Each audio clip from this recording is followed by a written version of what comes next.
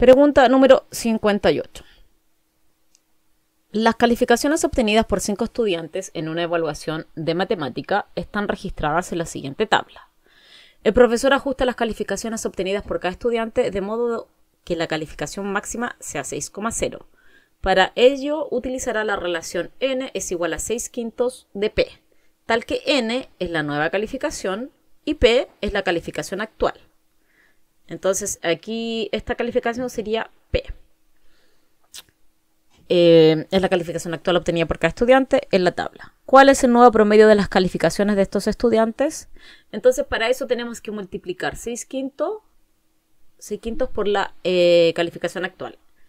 Entonces, lo bueno es que se repite varias veces la misma calificación, por lo tanto, no hay que hacer tantas operaciones, pero hay que hacer bastantes. Así que tienen que aprender a dividir súper, súper bien si van a rendir la PAES.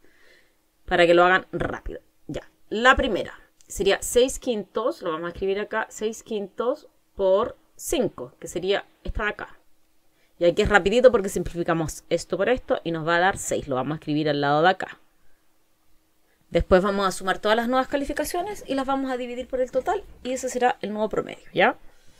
Después, 4, lo bueno que se repite varias veces, entonces 6 quintos por 4.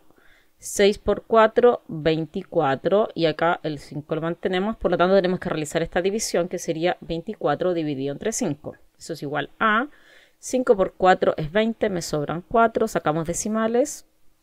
5 por 8 es 40. Entonces sería 4,8. 4,8. Y se va a repetir en Baltasar también. 4,8 y en Claudia.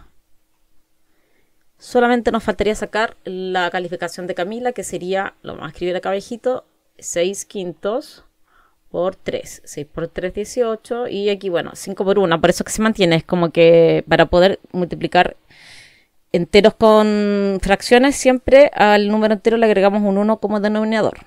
Y 5 por 1 es 5. Entonces también ahora tenemos que dividir 18 entre 5.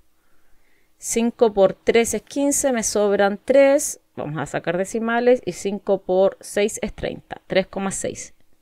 3,6. Ahora vamos a sumarlos todos. Serían 8 más 8 más 8, porque tenemos 3, 8, 24 más 6, 30.